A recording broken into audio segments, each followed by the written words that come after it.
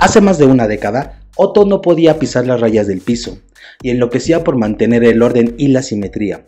Ahora, Camilo pisa las rayas y no solo eso, sino que las cuenta y sabe exactamente cuántas son.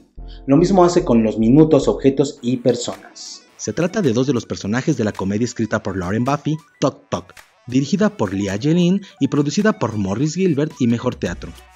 Hace más de una década, el actor Ulises de la Torre triunfó en grande dando vida a Otto, personaje con el que hizo cientos de representaciones.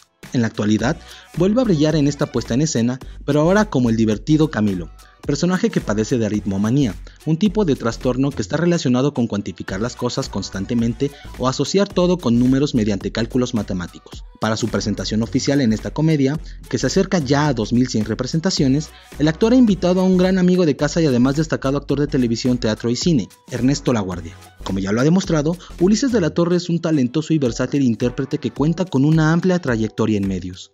Con esta casa productora, el actor ha triunfado en las comedias Locos por el Té, Suertudotas y, por supuesto, Tok Tok, así como otros montajes en los que ha trabajado como Me Fascina Mi Vecina, Mundo Real y Amoratados. Asimismo, en cine participó en Me Importas Tú y Tú, de Adolfo Martínez. Por si fuera poco, la televisión ha sido el medio en el que más se ha desarrollado, participando tanto en múltiples programas unitarios como en telenovelas. En 13 años de historia, y contra viento y pandemia, la obra ha permanecido ofreciendo funciones, superando hasta ahora las 2.000 representaciones. Hoy, Tok Tok está de regreso con las actuaciones de 16 grandes intérpretes, Lola Cortés, Armando Hernández, Poncho Vera, Pedro Prieto, Raquel Garza, Leonardo Bono, Omar Medina, Cecilia Arias, Alicia Paola, Dari Romo, Sandra Quirós, Majo Gutiérrez, Alex Quirós, Alex Bully Trejo y por supuesto Ulises de la Torre, quienes alternan en los divertidos personajes de esta puesta en escena. Tok Tok se presenta de viernes a domingo en el Centro Cultural San Ángel, los viernes a las 19 y 21 horas,